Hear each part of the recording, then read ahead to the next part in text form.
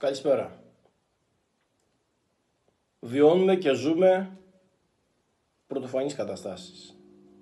Όμως, για την υγεία μας είμαστε υποχρεωμένοι όλοι να τηρήσουμε τους κανόνες υγιεινής, να μένουμε σπίτι μας και να προσπαθούμε πάντα να προφυλάσσουμε τους άλλους και μετά τον εαυτό μας από οτιδήποτε μπορεί να μας περιβάλλει και δεν το γνωρίζουμε.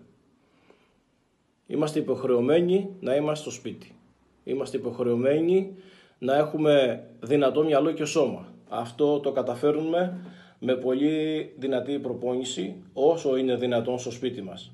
Άλλωστε εμείς οι άνθρωποι των πολεμικών τεχνών, εμείς που κάνουμε ζίου ζήτσου, είμαστε υποχρεωμένοι να τηρούμε αυτό το πλαίσιο σε μια δύσκολη κατάσταση. Γιατί είναι πολύ γνωστό ότι η μεγαλύτερη δύναμη του ανθρώπου είναι το μυαλό και ο μεγαλύτερος αντίπαλος του ανθρώπου είναι ο εαυτός του. Άρα εμείς συνδυάζοντας τη δύναμη του μυαλό μας αντιμετωπίζουμε οποιαδήποτε κατάσταση με το μυαλό μας και το σώμα μας έτσι ώστε να μπορούμε να αντιμετωπίσουμε όλες τις καταστάσεις τις δύσκολες που μπορούν να μας ε, ακολουθήσουν. Βέβαια για τους αθλητές μας σε αυτή η νεκρή περίοδος ε, είναι πολύ δύσκολη.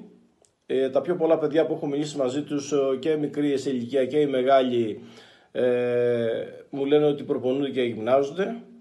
Αυτό είναι το καλύτερο που μπορούν να κάνουν, διότι οι οδηγίες οι δικές μου έχουν να κάνουν ότι δεν είναι μόνο για να είναι σε μια καλή φυσική κατάσταση, αλλά η προπόνηση στο σπίτι βοηθάει έτσι ώστε να έχουμε πολύ θετική ενέργεια, να βλέπουμε όλα πολύ θετικά, για να μπορούμε για να μας καταβάλει καμία κατάσταση. Μπορεί να είναι πολλές οι ώρες στο σπίτι, όμως υπάρχουν πάρα πολλοί τρόποι να τους αντιμετωπίσουμε. Εγώ εύχομαι σε όλους να έχουμε την υγεία μας και στο τέλος θα πάνε όλα καλά στο τέλος εμείς θα κερδίσουμε.